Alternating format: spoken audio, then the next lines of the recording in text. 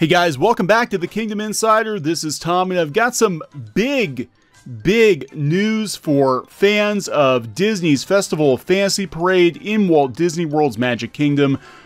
Maleficent is back. The Maleficent, the dragon float that, uh, well, caught on fire last year has been completely refurbished. She is back in the Festival of Fantasy Parade, which is excellent news excellent news. I know a lot of Disney fans are really looking forward uh, to seeing her again. Now, we did hear before that they were testing her. We knew she was going to come back eventually, uh, but she came back with a, a, new look. She looks a little bit different.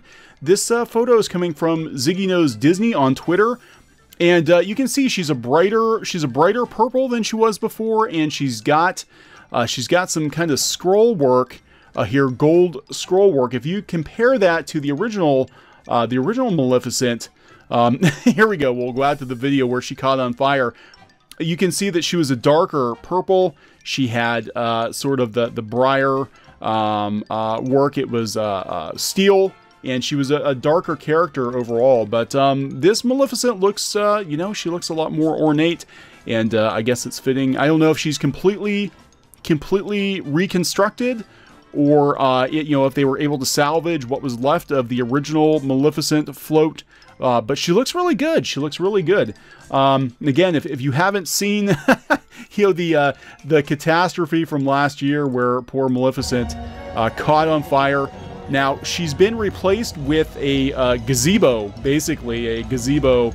Yeah, and the gazebo doesn't really doesn't really uh, doesn't really work. It's not quite the showstopper that Maleficent was.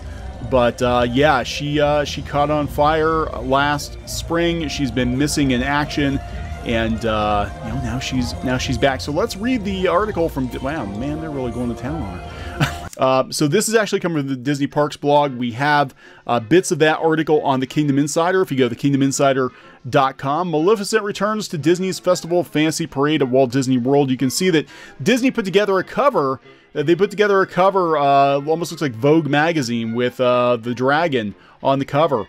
Um, secret to an epic 2019 debut, the the wonders of Beauty Rest. Uh, of course, you know she has been she has been completely refurbished. She looks very very good, and she's back. Have you seen the cover of the latest issue of Villains Weekly? It's causing a lot of buzz. Rumor has it that everyone's favorite villain, Maleficent, is returning to Magic Kingdom Park today to retake her rightful place in a certain festival, and it looks like she's had some work done, although she probably would never admit it. Uh, yeah, she definitely has.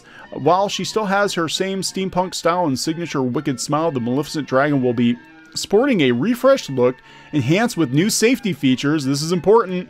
She's got new safety features designed to keep her in check because we don't want to uh, we don't want another incident like uh, this. We don't want another incident like this. We don't want to see Maleficent um, combust on on the parade route again. So she does have new safety features, and uh, Disney Parks blog has a new video up.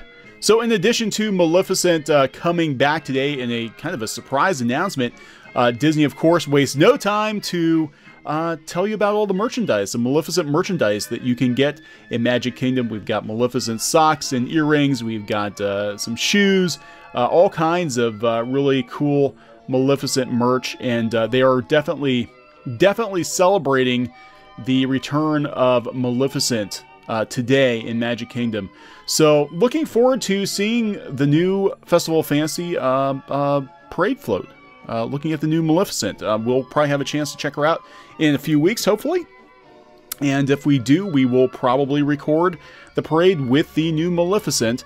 Stay tuned to the Kingdom Insider at thekingdominsider.com. Follow us on Facebook, follow us on YouTube, Twitter, uh, all the social media platforms for more Disney news and rumors, videos, and more. This has been Tom for the Kingdom Insider. Goodbye.